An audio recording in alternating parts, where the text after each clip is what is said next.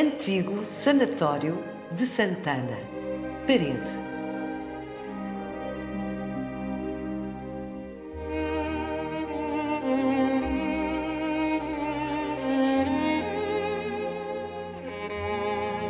O complexo do Sanatório de Santana, edificado entre 1901 e 1904, é, sem dúvida, um caso de referência europeu e o mais sofisticado projeto sanatorial marítimo do país.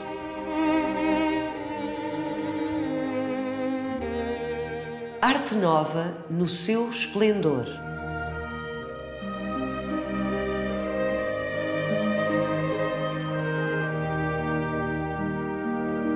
Excelência na arquitetura.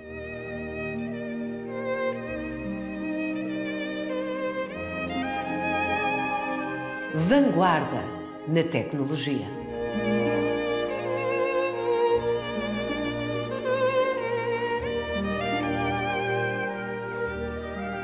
O Sanatório de Santana foi especialmente desenhado para crianças com tuberculose dos 4 aos 14 anos, mais propriamente para meninas.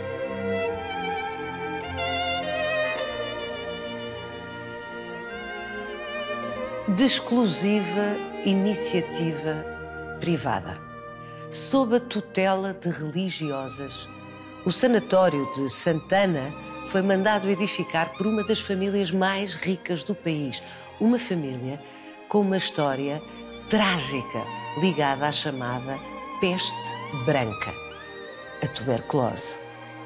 Vai querer saber mais? Venha conosco nesta visita guiada.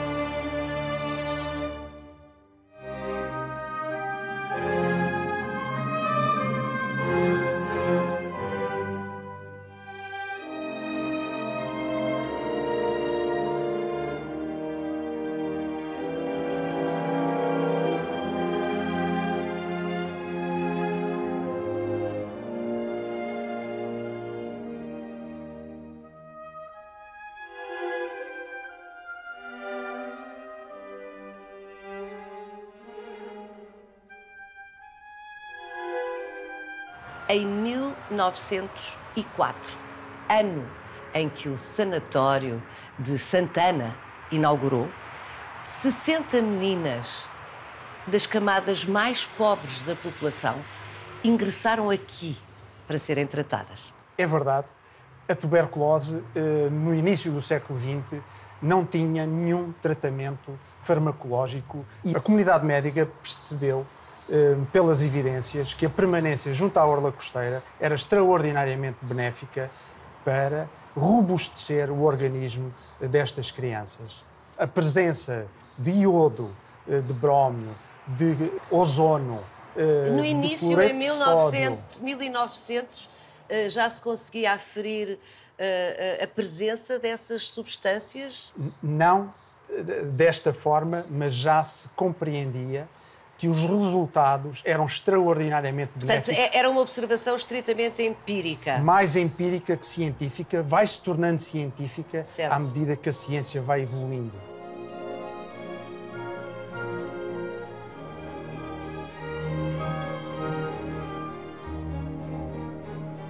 A benemérita do Sanatório de Santana, Dona Claudina Chamisso, pensou e orientou a construção de um sanatório de topo um sanatório modelo para a época, incluindo as mais avançadas prescrições médicas e higienistas da época, para tratar a tuberculose óssea, que era um flagelo eh, na infância.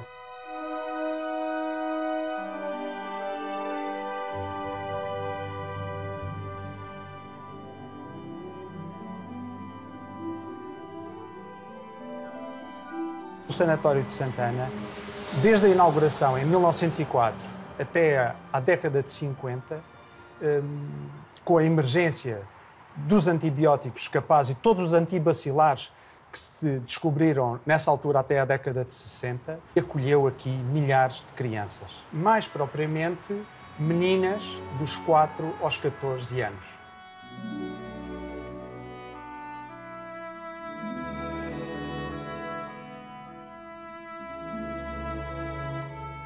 O cotidiano era prescrito e controlado pelo diretor clínico. Ele determinava os tempos de repouso, que eram muito importantes, a alimentação, as horas da alimentação, a permanência nos solários, a permanência na praia, a primeira refeição às 8 da manhã, a segunda refeição ao meio-dia, a terceira refeição às 3 da tarde e a última refeição às 6. Dada a origem destas meninas. Muito uh, pobres, não é? Muito pobres. Ter quatro refeições diárias era algo que elas desconheciam. Hum. E muito menos da qualidade da alimentação que era fornecida neste sanatório.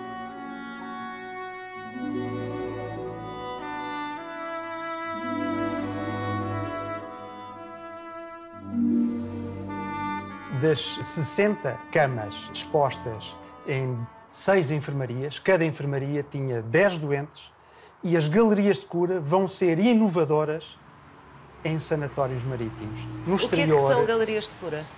São este espaço como onde ah, nós nos isto onde nós estamos, esta varanda, é uma galeria é de cura? É uma galeria de cura, era assim que era eh, ah. apelidado na época. É o primeiro sanatório que inclui, de origem, no seu desenho, galerias de cura adoçadas às enfermarias. Significa que estas portas dão para o espaço que era o espaço da enfermaria. O espaço de internamento.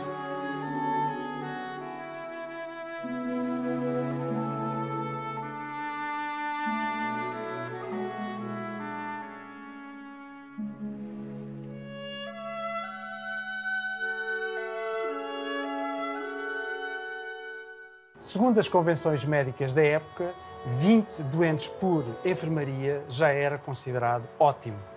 Em Santana eram 10.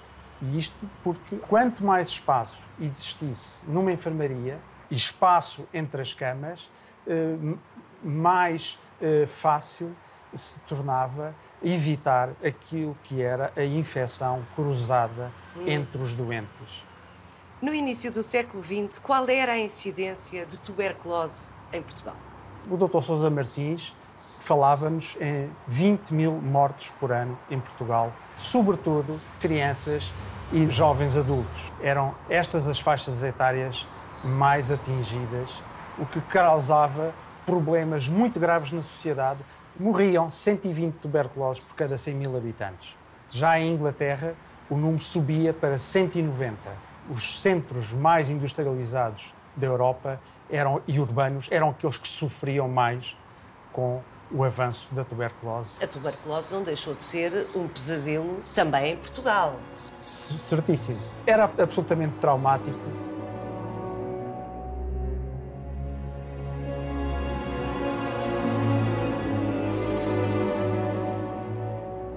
Conhecem-se os números uh, das pessoas com tuberculose que conseguiam recuperar? A taxa de recuperação na Europa não sabemos, mas eh, no sanatório de Santana ela atingia os 90 e tal por cento. A sério?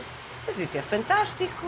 Vamos continuar esta visita para perceber exatamente o que é que tornou este local tão bem sucedido no combate àquilo que se chamava a peste branca.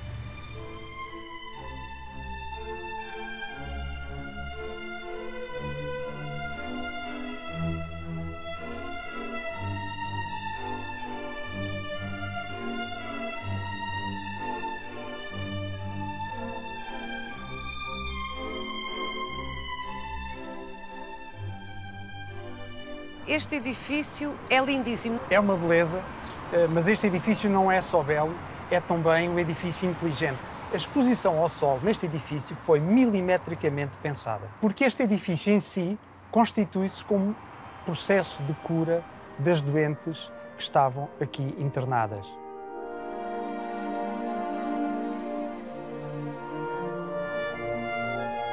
O sistema de ventilação natural tinha três grandes caixas de ar, uma no porão, uma na área de internamento e uma terceira área na comieira, na zona topo. do topo do teto eh, da enfermaria. Três caixas de ar que se comunicavam através de grelhas de efusão. E essas grelhas eram controláveis através de um mecanismo com roldanas, cabos de aço e manivelas.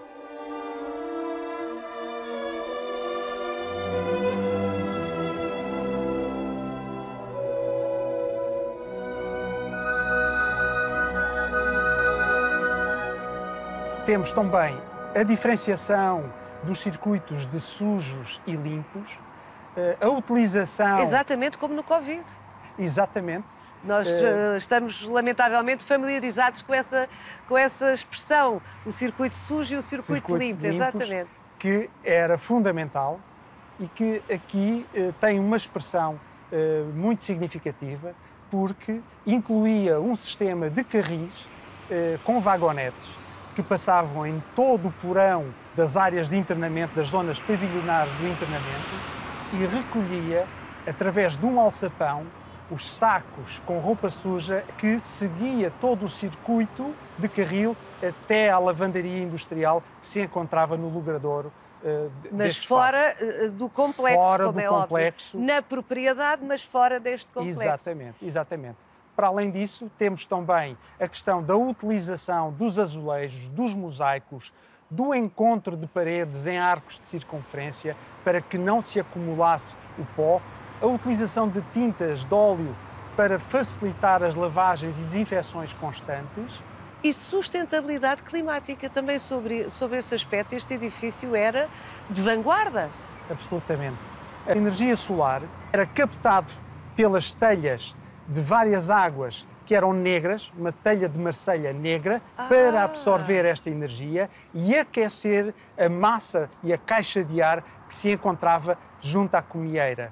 E esse diferencial de pressão que se estabelecia e de temperatura que se estabelecia entre a terceira caixa de ar e o ar que estava no porão vai produzir uma corrente de ar ascendente que permite a renovação constante de ar na enfermaria, criando um ambiente saudável e que vai diminuir fortemente o poder das infecções cruzadas.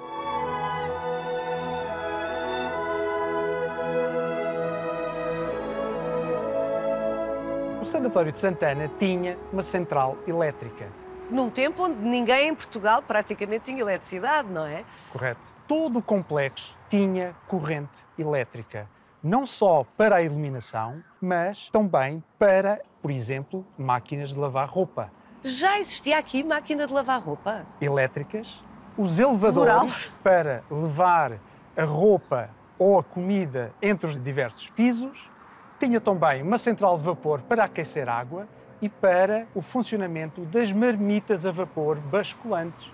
Estas panelas a vapor eram prescritas pela comunidade científica da época por serem as mais higiênicas, higiênicas na confecção da comida.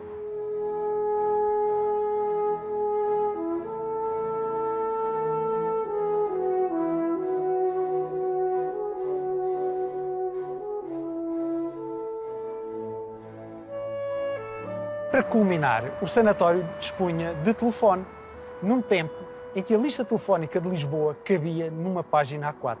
Extraordinário.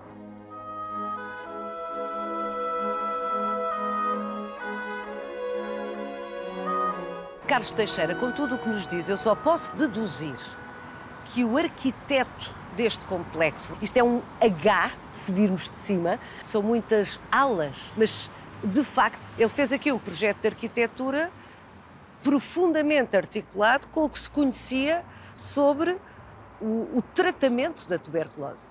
Durante todo o século XIX, a comunidade científica procurou soluções para tornar os hospitais espaços de salubridade. Até que no último quartel do século XIX, o engenheiro francês Casimir Tollet criou um sistema de renovação de ar das enfermarias que ficou conhecido exatamente pelo sistema Tollet. E o arquiteto Rosendo Carvalheira, responsável por este projeto, conhecedor deste sistema, aplicou-o em Santana e melhorou o sistema de Casimir Tolé. O sistema Tolé dispunha de duas caixas de ar comunicantes. E o sistema de Rosendo Carvalheira vai utilizar três grandes ah. caixas de ar. Esta nova forma de construir foi um farol para o movimento da arquitetura moderna.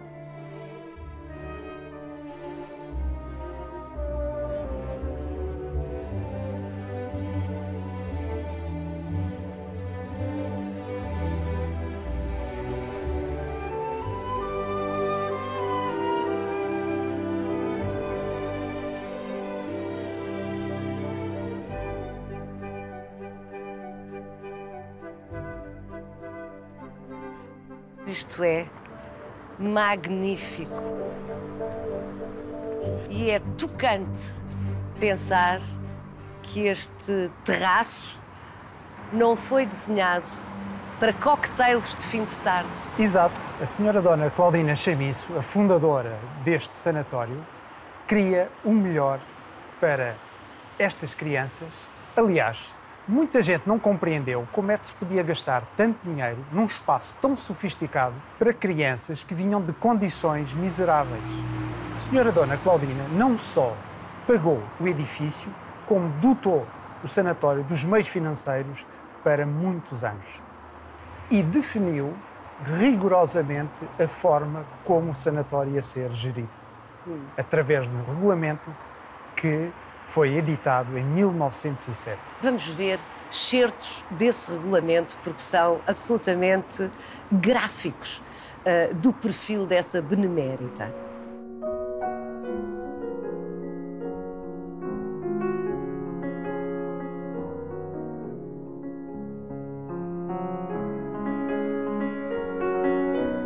Carlos, isto é absolutamente inédito.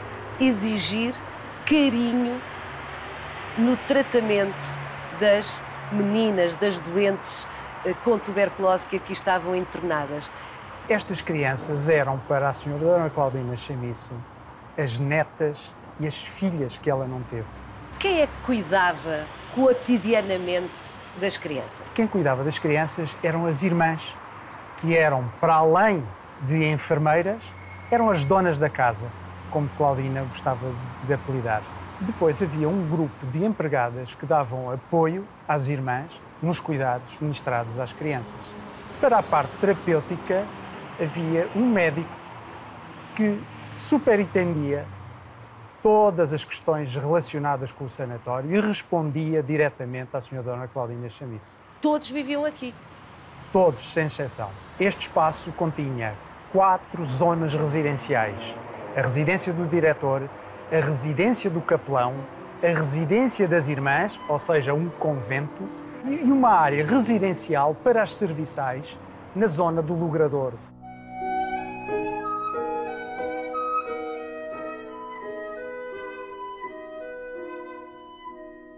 A senhora Claudina pagava bem aos cuidadores destas meninas e dava férias. Férias pagas? Férias pagas. Isso é extraordinário. Eh, as férias pagas, volto a dizer, estamos.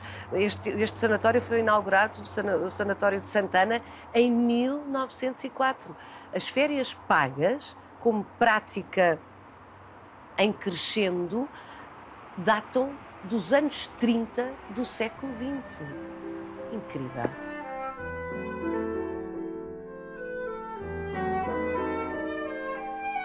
O ambiente que se vivia no sanatório era tão bom que uma antiga doente confessou-nos que os 10 anos de internamento foram os melhores da sua vida. 10 anos de internamento? Sim, e não foi caso único.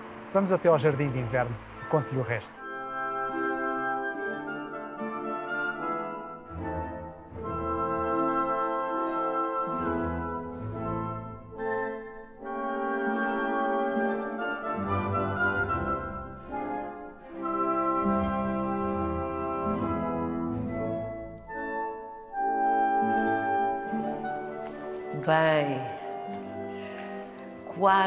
Consegue ser mais bonito do que a paisagem que tínhamos daquele balcão onde estivemos a conversar. É extraordinário este salão, estes salões.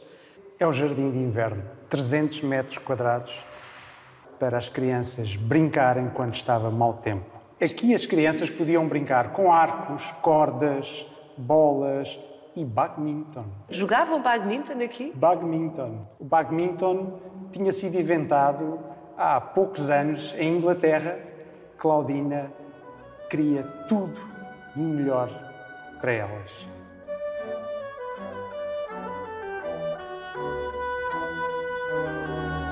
Voltando à questão do tempo de internamento, que me impressionou aquilo que o Carlos nos disse lá fora, 10 anos de internamento, era frequente ficar tanto tempo internado? Não. O tempo médio de internamento, ou seja, a demora média de permanência dos doentes no sanatório, estava entre os seis meses e os dois anos. Eram os tempos mais frequentes. Isto significava, tendo as crianças que aqui entravam entre 4 e 14 anos, que tinham que ter escola aqui. Senhora Claudina Chamisso pensou em tudo e aproveitou esta demora média para instruí-las com leitura, escrita e aprender a contar para além da religião. A catequese, presumo a catequese. que fosse obrigatória. Estamos antes da Primeira Guerra Mundial. Antes da Primeira Guerra Mundial, início do século XX. Eh, quer dizer, atendendo aos níveis de analfabetismo em Portugal, à época, eh, a maioria esmagadora da população era analfabeta e dentro dos analfabetos, a grande parte eram mulheres. O que significa que estas crianças vindas das camadas mais pobres da população provavelmente nunca teriam ido à escola se não tivessem estado internadas uh, por serem tuberculosas. Certo. E mais do que saber ler, escrever e contar, estas crianças estavam expostas à beleza, algo que elas não conheciam.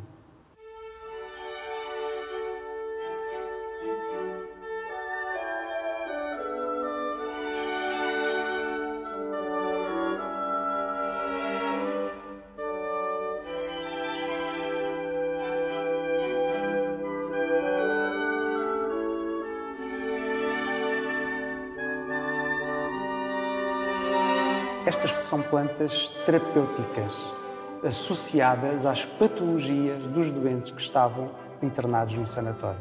Estão aqui representadas papoilas, de onde se extrai o ópio, um poderoso antitússico, e a cannabis, para o sistema nervoso central, mitigar a dor e o sofrimento.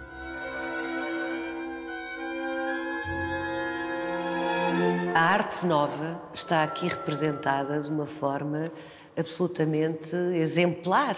Uh, quem foram os artistas envolvidos uh, neste projeto? Este programa artístico foi executado por Ricardo Ruivo e Jorge Pinto. São azulejos pintados à mão a partir de desenhos previamente definidos. Eu presumo que uh, a aprovação dos desenhos e deste programa artístico não tenha passado diretamente pela sua dona Claudina Chamisso, mas seguramente o arquiteto eh, deve ter eh, monitorizado tudo o que os artistas aqui fizeram e que foi muito.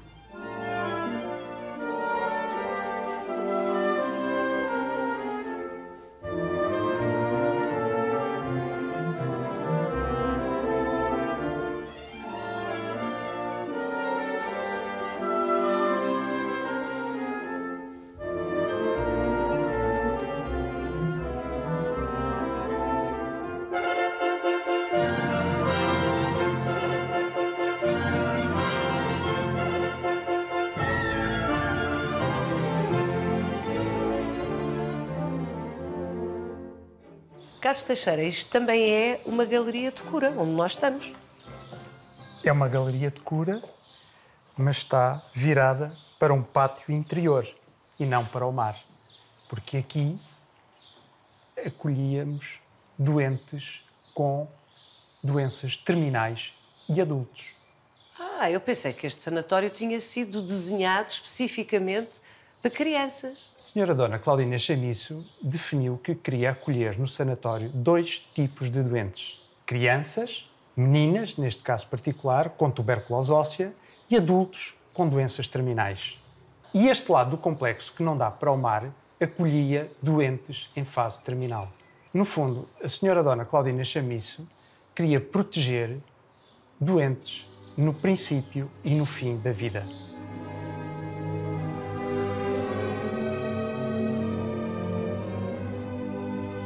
Deste lado do complexo temos quatro enfermarias, duas para mulheres e duas para homens. Esta galeria estava ligada às enfermarias de quê? Dos homens ou das mulheres? Das mulheres. Para as crianças tínhamos 60 camas e para os adultos 40. Fica claro que, de facto, a prioridade da sua dona Claudina Chamisso eram as crianças. Certamente.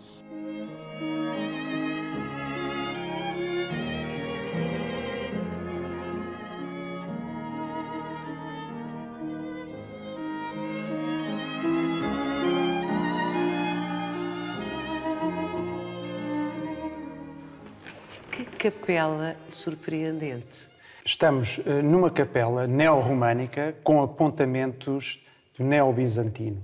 O arquiteto Rosendo Carvalheira chama para este projeto os artistas Ricardo Ruivo, pintor, o escultor Costa Mota e o pintor de vitrais António Ramalho. Estas citações de outras modas, de modas de outros tempos históricos, eram absolutamente comuns no século XIX, dado que este conjunto é edificado logo a partir de 1901, é natural este ecletismo.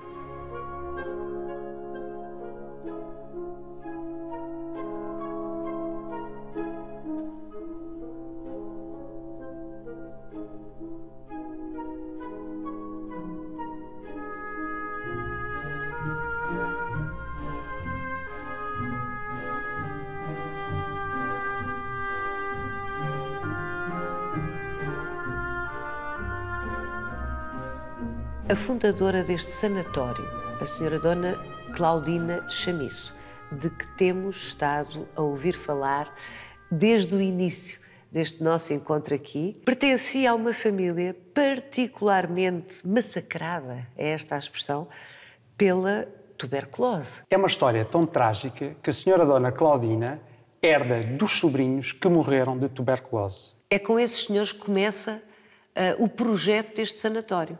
Quem tem a ideia de construir o sanatório é o casal Amélia Chamice Bister e Frederico Bister. Compram este terreno em 1898, mas Frederico Bister morre no ano seguinte e Amélia morre já em 1900.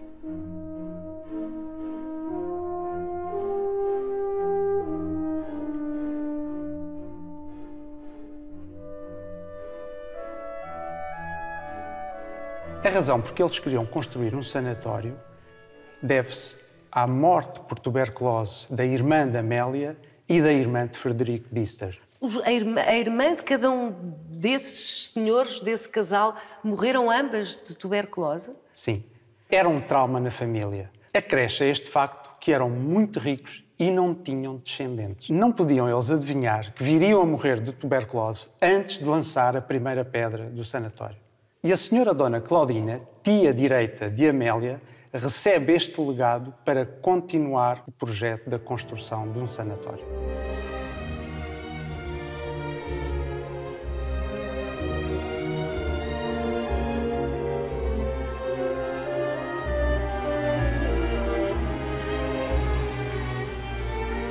Bom, a sua Dona Claudina fez bem mais que continuar este projeto. O que ela fez foi uh, levá-lo tão longe quanto, se calhar, o próprio casal que teve a ideia, os seus sobrinhos, sem filhos, Amélia e Frederico, provavelmente levariam.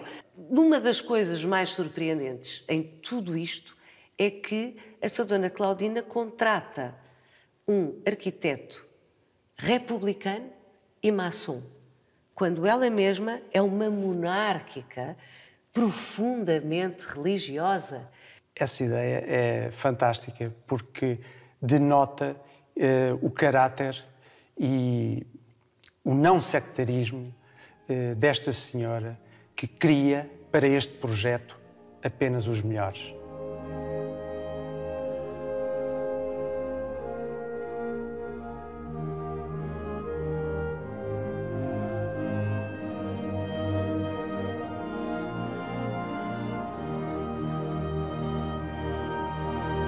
Veja este e os outros Visita Guiada em RTP Play e siga-nos no Instagram e no Facebook.